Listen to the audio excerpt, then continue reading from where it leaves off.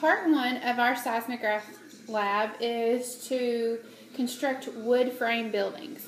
So we are going to construct for our first building, we are going to construct a square building that is two or three levels high by using our craft sticks and our modeling clay. So we'll just pinch off pieces of modeling clay um, to secure our joints and we will make a two or three story high level building. So you can just use little pieces of clay and secure your joints that way.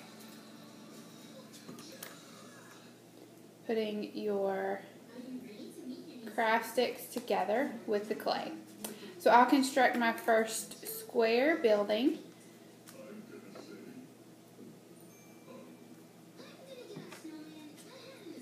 You can construct this building any way you would like to, just using your craft sticks and your modeling clay.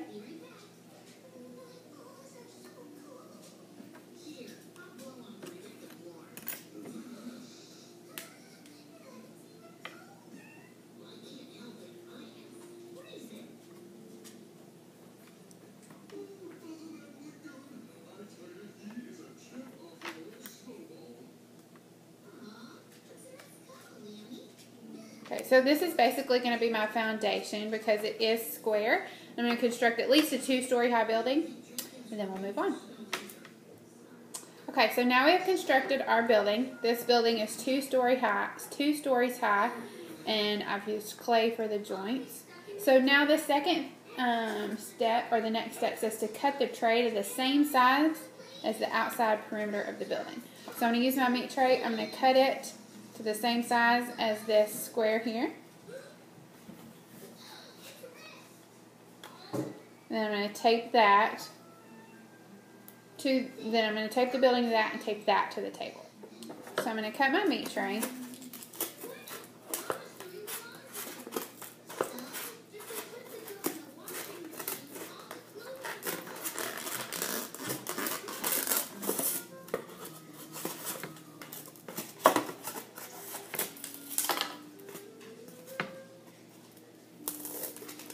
Best I can.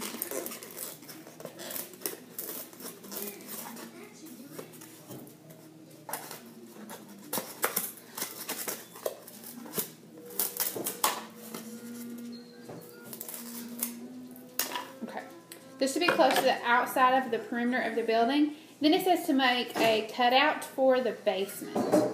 So I'm then going to make a cutout for the basement, I believe in the meat tray.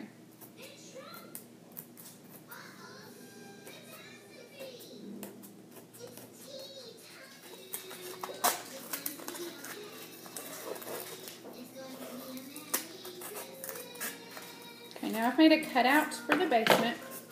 Now I am going to tape the building to the meat tray and then we'll tape this meat tray to the table and then we'll begin our shaking on our wood frame building. Alright, so now I am taping the building to our meat tray.